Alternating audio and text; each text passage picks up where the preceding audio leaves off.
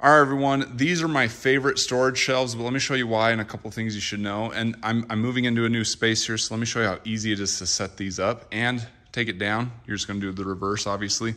But you're just gonna take this, okay, you set down the, the legs before. The smaller end, okay, goes in here, and then you just push, boom. Sets in there just like that. Same here, boom. And then you just take this shelf and you set it on. I'm trying to do this one-handed, might be a little tougher, but you come in here, obviously line this up, and then boom, you just push it in. Just like that. And you do it on both sides. Get this side in. Oh, if I can do that right.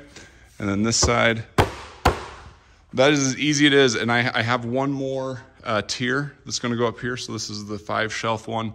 Uh, and the, uh, but that's as easy as it is. They're, it's very sturdy, very strong. I mean, I have filled this thing with Rubbermaids all the way to the top. The Rubbermaid's full of, you know, heavy materials as well before.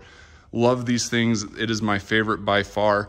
There are little uh, spots on the side for uh, you know you could hook you can hook stuff in there. They have attachments that you could use. I don't use them.